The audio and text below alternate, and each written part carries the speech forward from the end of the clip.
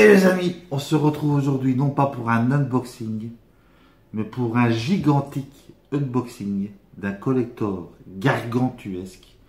Un collector qui est vraiment euh, des limites du raisonnable. C'est l'édition Apocalypse de Darksider 3. Regardez-moi la taille de ce collector. Regardez-moi ça. La taille de ce collector qui fait près d'un mètre vingt, totalement gargantuesque. Voilà. La boîte est assez lourde, je dirais 3-4 kilos. On a un superbe artwork en façade, voyez, avec la belle Fury qui est disponible ici. Le titre du jeu, le contenu du collector qui comprend les quatre fameuses figurines que l'on va découvrir à son aise ensemble. On a bah, sur les côtés rien de spécial. Je vous le retourne comme ça, de manière à vous montrer. Vous avez ici la suite de l'artwork. Et là, vous avez le artwork principal du jeu. Comment le collector doit être présenté dans votre collection. Voilà. Je ne sais pas si vous imaginez quelle taille Quelle taille faramineuse. Alors, ce collector, vous imaginez, c'était pas vendu à 100 balles, ni même à 200, ni même à 300. La plupart des enseignes le vendent à 400 euros pour ceux qui savent, se procurer parce que le collector est très très dur à trouver. J'ai eu la chance d'en choper un euh, dans les magasins, dans mon magasin euh, de ma région, Video Game Center. Encore merci les amis de m'avoir permis de me procurer cette grosse pièce. Et en plus, le prix est excellent parce que je l'ai eu pour 350 euros. Donc le prix conseillé, j'ai envie de vous dire, c'est plus 350 euros que les 400 que l'on voit partout sur le net. Et j'imagine, malheureusement, dans quelques temps, ça risque de monter très très haut. Alors avant de déballer le collector, euh, le Darksider 3, évidemment, c'est le troisième opus de la saga. Le 1 et le 2, vous pouvez le retrouver sur PS4, sur One en remaster. Mais ce sont des jeux qui sont sortis originairement sur la génération précédente. C'est le troisième opus.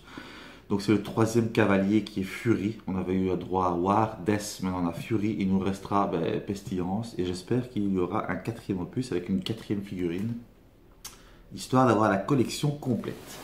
Donc on va déballer donc ce fameux collector. Donc, il y a un énorme cellophane à enlever.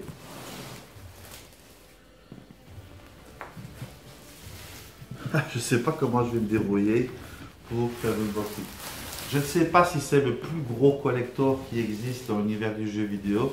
J'ai un doute parce que celui de Titanfall est aussi, euh, aussi très très grand, mais il est plus rectangulaire. Enfin, il est plus dans la largeur que dans la longueur. Donc je ne sais pas si, si on peut comparer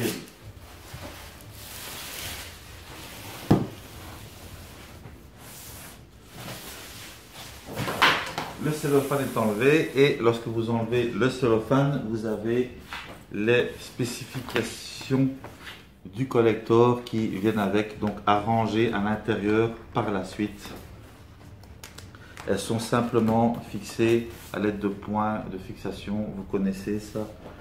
On a déjà eu ça souvent euh, dans les collectors. Je vais enlever la deuxième. je fais que les moyens du bord. Hein. C'est pas facile du tout. À je pense qu'il faudrait deux pour faire un unboxing comme ça. Voilà, histoire de ne pas l'abîmer aussi, il y a ce petit format, je suppose, qui est pour faire différencier si vous avez un collector One ou PS4, parce que oui, ce, collector existe sur les deux formats. Oui, c'est une boîte qui s'ouvre de cette manière-là, comme un coffre à trésor. C'est quand totalement impressionnant. Regardez-moi la taille de cette boîte. Tout à fait. Il euh, n'y a pas de mots. Voilà, je vais l'appuyer dans ce sens-là. Je ne sais pas si vous voyez un petit peu. Donc, on a plein de choses. On va les extirper. Et ensuite, on prendra le temps de déballer chaque objet. Donc, on a, on va commencer par l'objet qui vous pouvez retrouver dans l'édition collector du jeu. Donc, c'est l'édition Apocalypse. Mais vous avez une édition collector où vous retrouverez la figurine de Fury. On déballera la figurine par la suite. je la place ici en entendant. Ensuite, on, procède dans l'ordre. On a le héros du premier Darksider qui est War. Donc, on découvrira sa figurine. Donc, ces figurines-là, évidemment, ne sont disponibles que dans cette version Apocalypse. On a celle de Death que normalement vous, connaissez et il y avait un collector aussi sur la génération précédente où on voyait le masque de Death, souvenez-vous, ce collector qui est finalement assez connu du monde de la collection. Et on termine avec une quatrième figurine celle de Vulgrim, qui est le, le marchand que l'on retrouve dans tous les épisodes de la saga. Donc laissons dire que niveau figurine, nous sommes gâtés. Donc on a pour tendance à dire un bon collector, un gros collector, c'est OST, artbook, steelbook et figurine. Donc ici, on a évidemment les quatre pièces, mais on a en plus quatre figurines, ce qui fait que le collector coûte 350 euros. Et on verra à la fin, on fera un petit peu le bilan, est-ce que ça vaut la peine de mettre 350 euros dans ce collector. Alors qu'est-ce qu'on a d'autre? On a un poster sous forme de, de roll-up on découvrira ça ensemble. On a un petit box on va trouver le jeu, je suppose, et les autres objets. Et on a le médaillon. Alors je vais renifler dans la boîte comme à l'accoutumée. Et ça sent extrêmement bon. Sachez aussi que si vous voulez prendre ce collector, c'est super bien protégé. Tout est matelassé évidemment.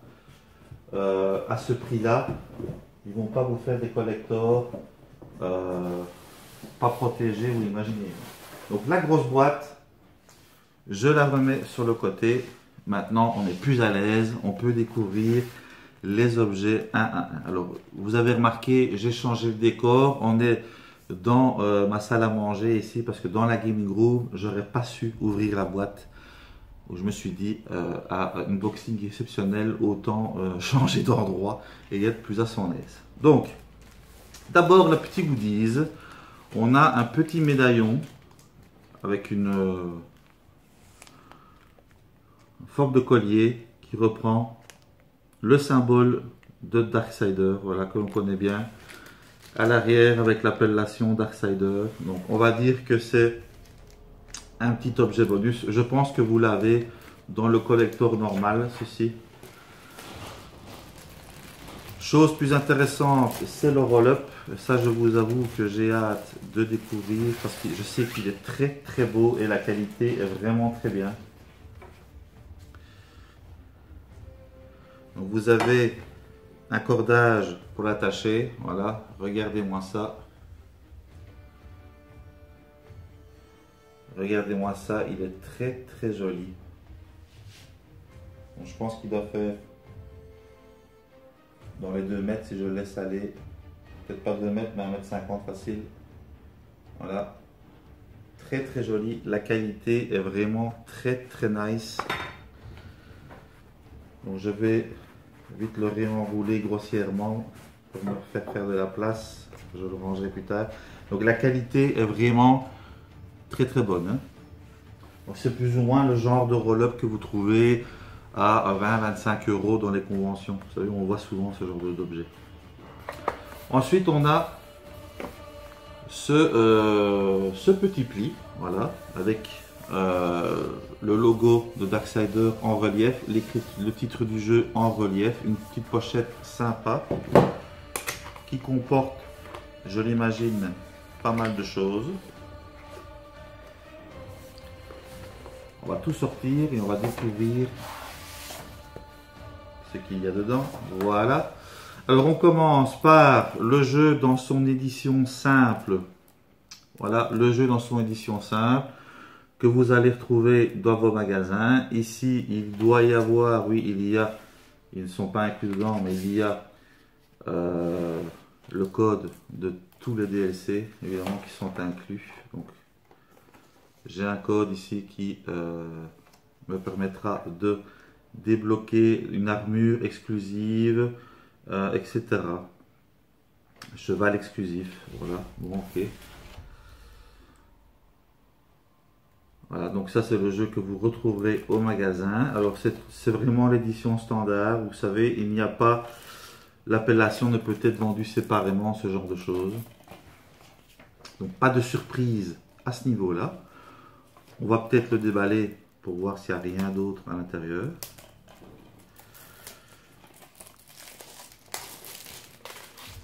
S'il n'y a pas de surprise, on va dire. Non, il n'y a vraiment aucune surprise.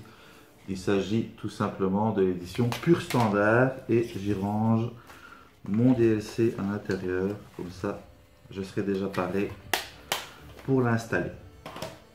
Ok.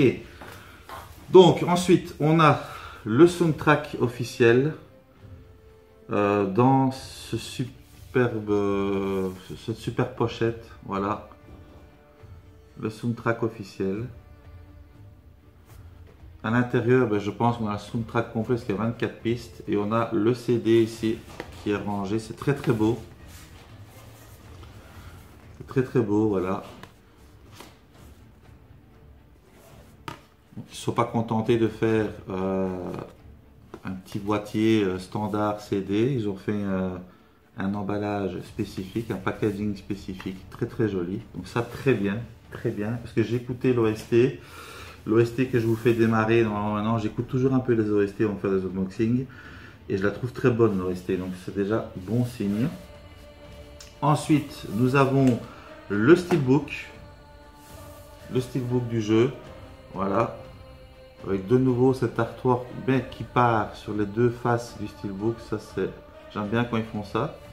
Alors il n'y a pas le titre du jeu parce qu'ils ont voulu laisser la place pour l'artwork et à l'intérieur, on a donc notre ami Fury et le 3 de Darksider 3. Donc le steelbook est bien. Bon, c'est pas non plus le plus beau steelbook que j'ai eu dans ma collection, mais il fait, il fait le taf comme on dit. C'est un très joli steelbook. Et l'intérieur est très réussi. Ensuite, nous avons le artbook. Et là, c'est très bien parce que, euh, vous savez, on a souvent maintenant des artbooks euh, format de mi A4. Et là, on a enfin un format euh, A4 complet. À la limite, je préfère que, même si, le format est souple, c'est pas grave. Mais je préfère de, loin avoir un format A4. Donc, de nouveau, Star Talk avec Fury. Dans la couverture, avec nos amis de THQ Nordic qui ont repris la licence. Donc j'évite de trop regarder les artbooks, mais pour vous donner euh, une idée, voilà, donc la qualité est sympa. On regrettera simplement qu'il euh, ne soit pas euh, avec couverture rigide. Donc à l'intérieur, on a tous les boss qui sont les 7 péchés capitaux. C'est le but de Fury, c'est de traquer les 7 péchés capitaux.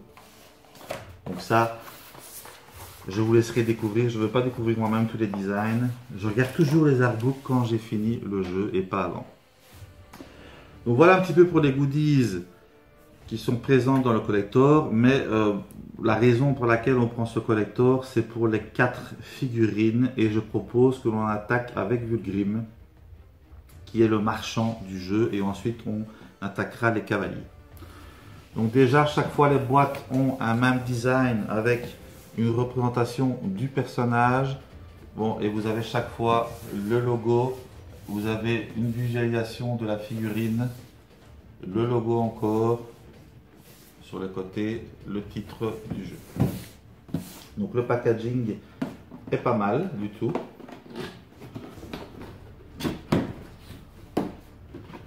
L'emballage, c'est l'emballage standard des figurines, si vous êtes habitué au collector, à 4 points ou à 3 points. Vous savez, les fameux emballages qui font énormément de bruit lorsqu'on va faire un unboxing. Mais ici, je vais faire 4 fois plus de bruit d'habitude. Donc voilà, c'est bien, bien emballé comme d'habitude. Alors, est-ce qu'ils nous ont mis des petits scotch? Oui. Vous avez des petits scotch à défaire.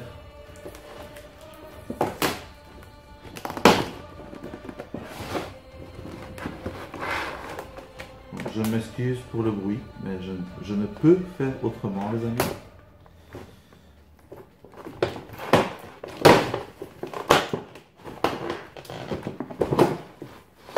Ça sent super bon, ça sent le neuf.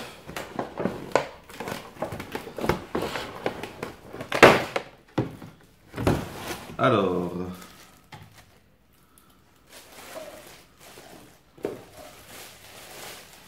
on a un socle, on a une tige de support, parce que Vulgrim est un marchand sorcier qui plane, il ne touche pas le sol. La finition est vraiment très très bien. Donc, est-ce qu'il y a un sens? Je présume que non. Ok, il suffit de fixer cela comme ça. Et de le placer. Voilà la première figurine.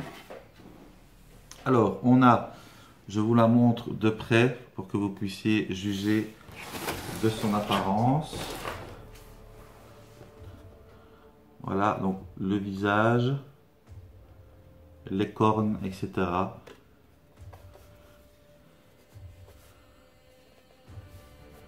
Les couleurs sont très belles. Moi, j'aime bien le magenta. C'est ma couleur préférée. Et on a vraiment un très beau dégradé de mauve ici. Voilà, très très beau. Voilà. Voilà, la figurine tourne sur elle-même, bien évidemment. Le socle, lui, on va pas dire c'est un socle euh, de très très haute qualité. C'est du plastique léger. Mais la figurine est vraiment très, très, très jolie. Il n'y a vraiment rien à redire sur la qualité de la figurine. Voilà déjà un premier unboxing de réussi. Imaginez lorsque vous avez les quatre l'une à côté de l'autre. Euh, ça doit vraiment donner euh, super super bien. Je range cette boîte je vais les reculer au fur et à mesure. Voilà. Donc, la première figurine de Vigrine. Donc, les figurines font euh, entre 25 et 30 cm de moyenne. La plus petite fait 25, je pense, c'est marqué hein, sur euh, votre euh, contenu du collector. Et la plus grande fait 29. Celle de voir est la plus massive. Donc, on va la découvrir peut-être en dernier. On va prendre maintenant ben, l'héroïne du jeu. Et on va remonter à rebours jusqu'à arriver jusqu'au premier, premier héros.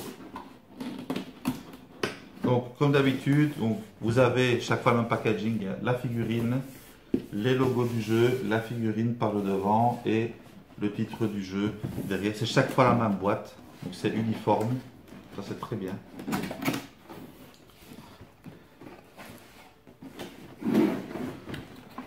Donc cette-ci, je rappelle, la figurine de Fury, si vous la voulez, elle est beaucoup plus abordable, évidemment, parce que vous pouvez la trouver dans le collector standard qui lui est à 150 euros. Ça reste quand même un prix. Ces figurines-là, de cette gamme-là, valent 70-80 euros, je pense, pièce. Ce ne sont pas des figurines à 30 euros, bien évidemment.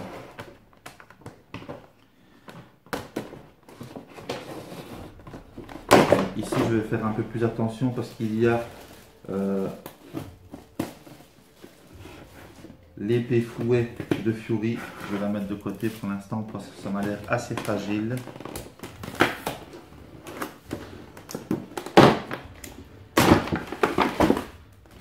Voilà la mi-Fury. Et son socle ici qui est beaucoup plus travaillé un socle de roche qui représente bien le feu de Fury.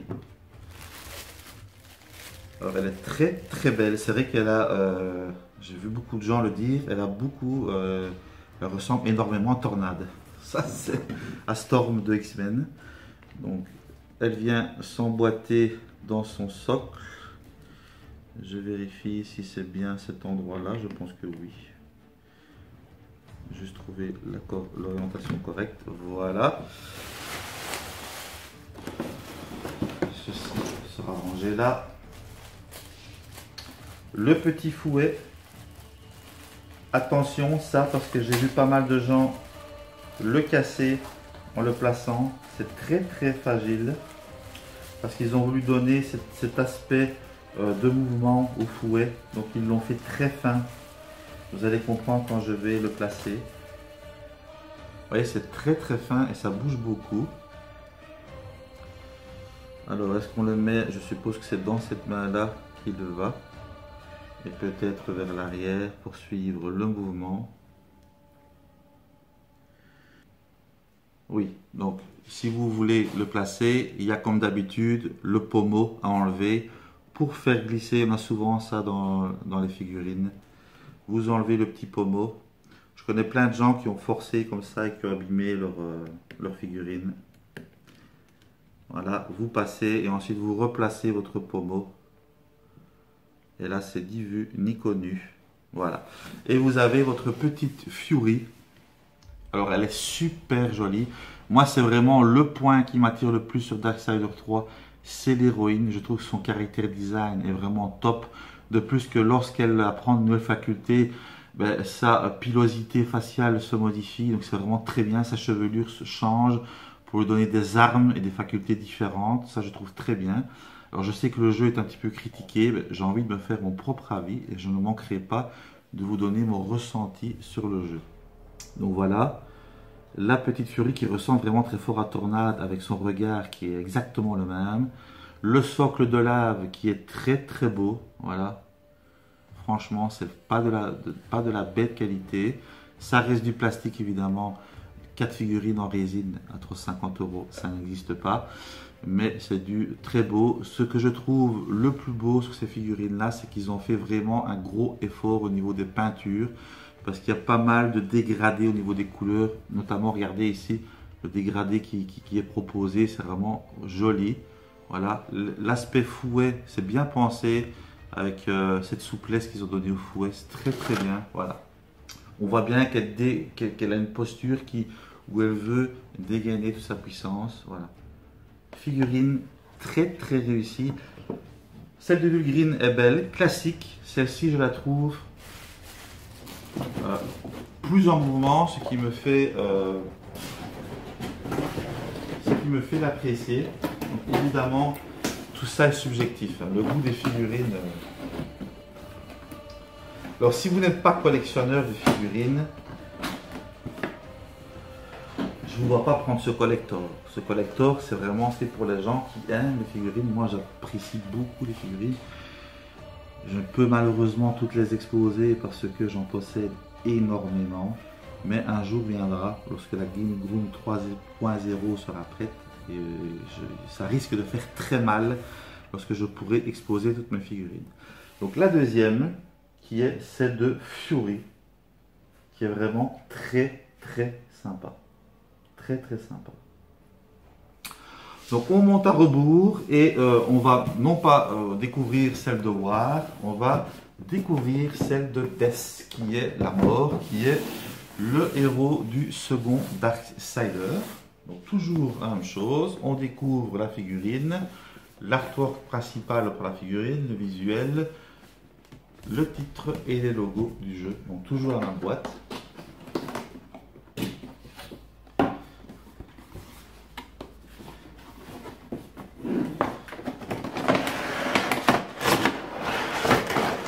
Toujours le même type d'emballage. Celle-ci est très très lourde, beaucoup plus lourde que les autres. Son socle est très massif. On va découvrir ça.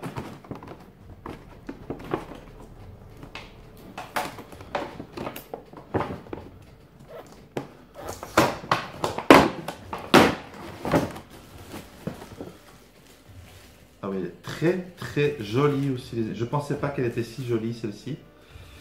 Elle est très très belle.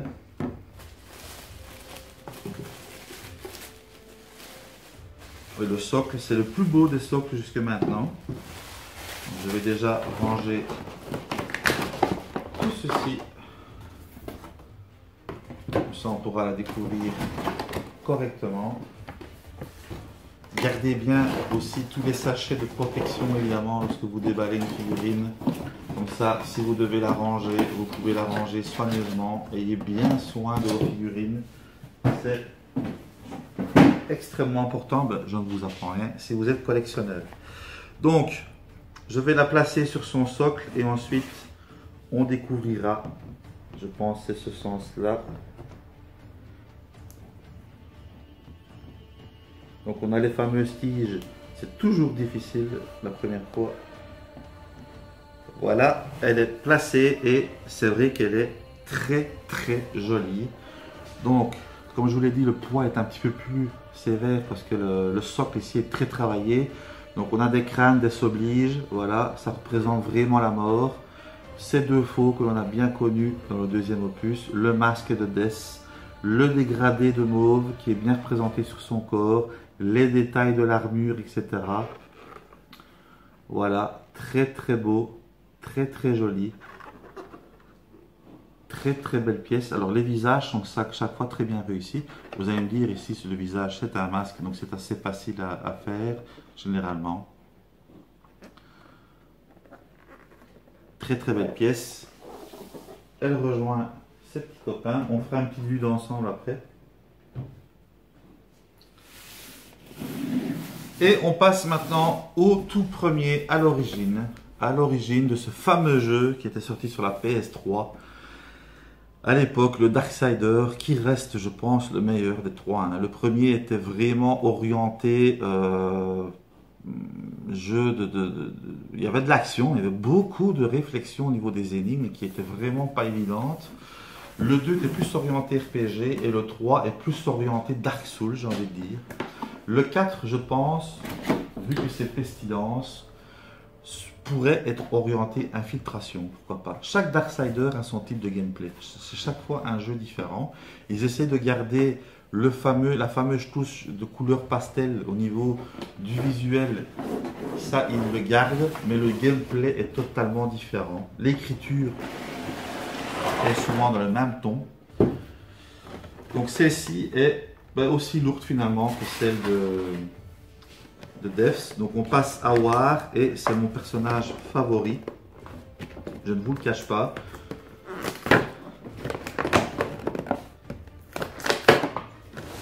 C'est la figurine qui m'intéresse. Me, enfin, J'aime bien les quatre, mais c'est la figurine qui m'attire le plus.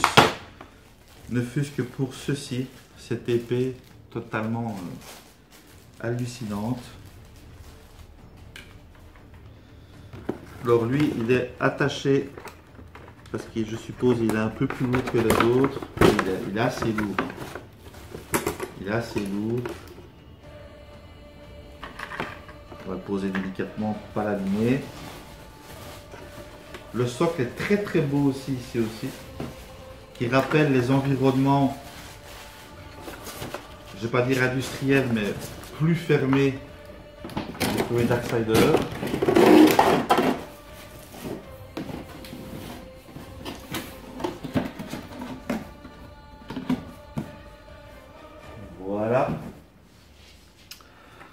Alors on placera l'épée après, je vais le placer sur son socle. Il est très très massif aussi, très très beau.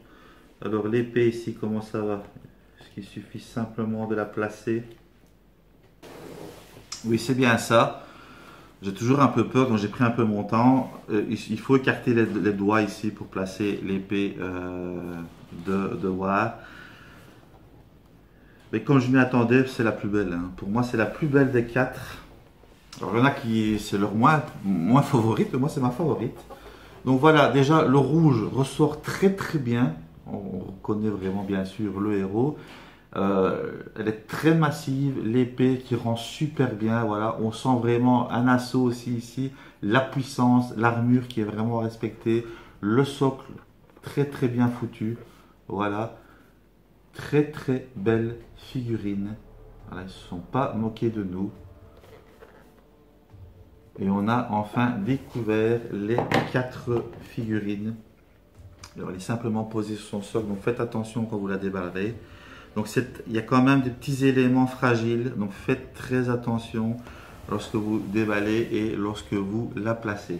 On va faire un petit visuel pour essayer de placer toutes les quatre les unes à côté des autres pour que vous puissiez vous rendre compte un petit peu de la qualité. Voilà, par exemple, on va les mettre dans l'ordre. Donc nous avons ici voir qui est présent. Ensuite, on a Des qui est présent aussi.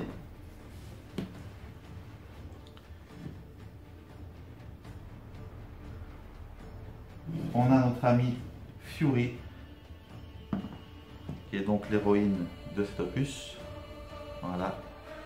Et pour terminer, notre ami Vulgrine, le marchand. Et ça vous fait ces quatre figurines. Imaginez dans votre collection Darksiders, dans votre full set Darksiders, comme ça doit bien donner. En attendant, bien sûr, je l'espère,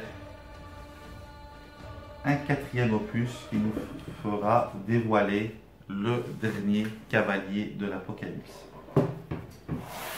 Donc je me dégage un peu pour marquer la conclusion et on va un petit peu euh, analyser euh, le contenu, si ça vaut la peine, si les 350 euros, voire les 400 euros demandés valent la peine. Alors les figurines, les figurines,